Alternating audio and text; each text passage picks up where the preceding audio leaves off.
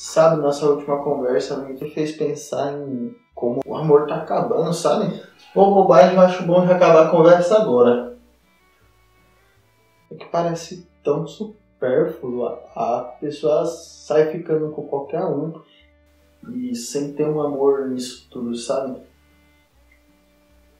É que a pessoa sai ficando com qualquer uma sem ter um amor envolvido, sai procurando pela pessoa certa, mas nunca acha, surge qualquer probleminha e já parte para a próxima pessoa.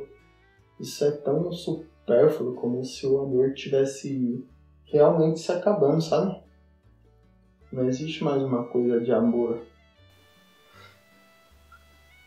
Isso faz com que a pessoa não consiga amar direito e não consiga se sentir amado por outra pessoa.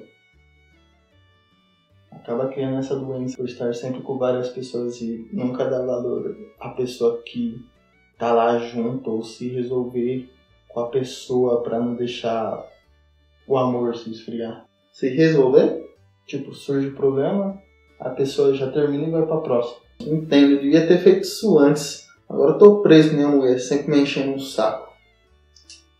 É isso que eu tô querendo dizer, tem que resolver os problemas. A gente sempre resolve porque eu sempre cedo. Se eu não ceder, ela me bate de panela. E você ama ela. Claro, senão eu já tinha fugido faz tempo. Pensando bem, não é uma má ideia não. Acho que em outubro eu fujo. Dessa vez vai.